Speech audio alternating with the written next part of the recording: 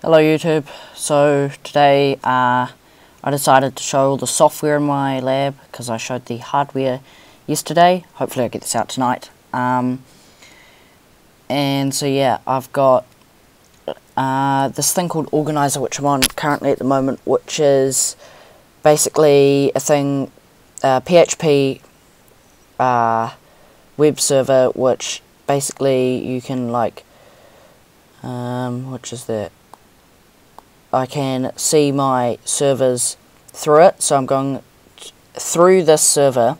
It's kind of like a jump server um, to my MineOS, my Minecraft server box. Um, you know, have Proxmox in it as well. Um, yeah uh, a couple of things don't work. So like this uh, doesn't work because it's some request. And then the, the switch doesn't like it the Cisco but you know who uses web management with Cisco gear. Um, so here I have my access point.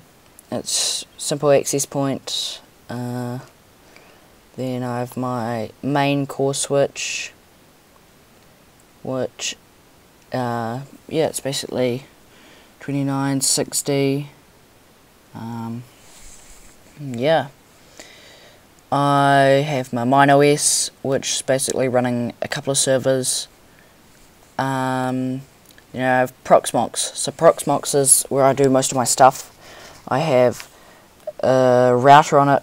Uh, I don't run my router virtualized. I have a hardware for this, but this is a second one for HoboColo, which is a project I do where we do BGP tunnels over uh, over the internet. So it's kind of like an overlay network. Uh, I'll try to remember to put their website in the description. Um, I have a just Ubuntu desktop VM, kind of standard uh, Windows XP VM, which I pass through Serial so I can manage my Serial on it. I have a the lab wiki.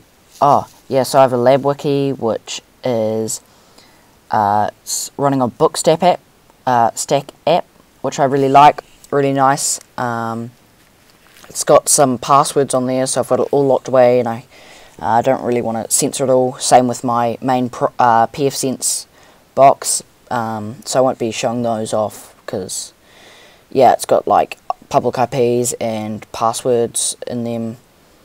And then I have Organizr, which is just this. So these two are containers, and these three are VMs.